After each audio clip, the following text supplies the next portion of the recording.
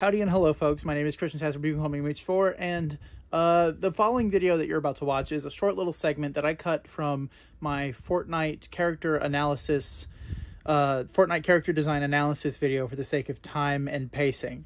And I still wanted to share it with you because I found it interesting, but I cut it from the main video. So here it is now, and thank you, enjoy. I asked one of my good friends for his thoughts. He's been playing Fortnite Battle Royale since the game launched, and here's what he had to say verbatim.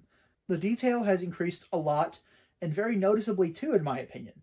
Too many cel-shaded skins, though, and the amount of crossover skins is too much, lol. I asked him if he thought the increase in detail was good or bad, and here's what he had to say.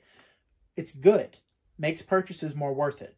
Remember, back in 2017, you'd pay upwards of $12 for a simple recolor, really. He also told me what eras he thinks the designs are split into, in his opinion, so take these how you will. He says, Chapter 1, Season 1 through Season 2 is the beginning. Season 3 through Season 7 is the Golden Age. Season 8 is the Dark Ages. Season 9 through Chapter 2, Season 3 is the Angular or Experimental Age. I kind of disagree with that a little bit.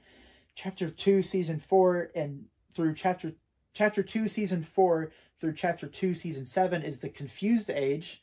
Chapter 2, Season 8 is the Dark Ages Part 2. I'll give that an amen. And chapter three, season one through the present day is the reimagined ages. I definitely think those are interesting classifications, but I naturally agree with mine more. Therefore, I am correct.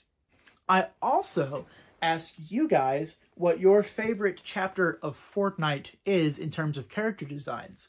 There are, at the time of recording, which is June 16th, there are 10 votes, and uh, one of them is for chapter one, Two of them are for chapter four, and three of them are for chapter two.